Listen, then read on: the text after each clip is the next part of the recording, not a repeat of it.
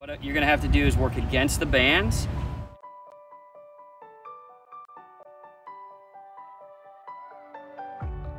I really like how it's now driving your left hip down. And you can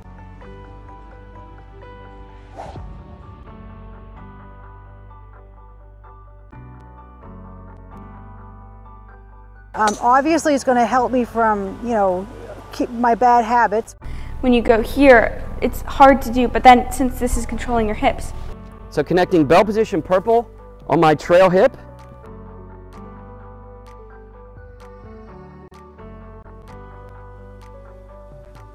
try to provide extension on the follow through against it if you can a little bit. Let these bands pull me, and now I can really feel that swing path. That's like, right.